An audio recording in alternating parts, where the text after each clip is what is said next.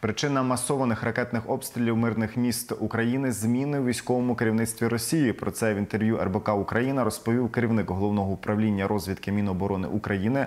За даними Кирила Буданова, віднедавна відповідальним за проведення так званої спецоперації став командувач повітряних сил Російської Федерації. А він уміє воювати лише бомбардувальниками та ракетами.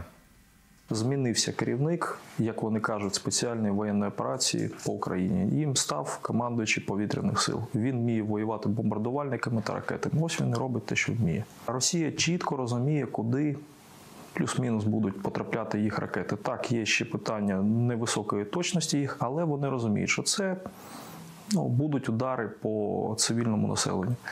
Їх абсолютно це влаштовує. Абсолютно повністю. Ви можете побачити це навіть по офіційній риториці, що вони кажуть, як ну, в принципі не сильно то і виправдовується.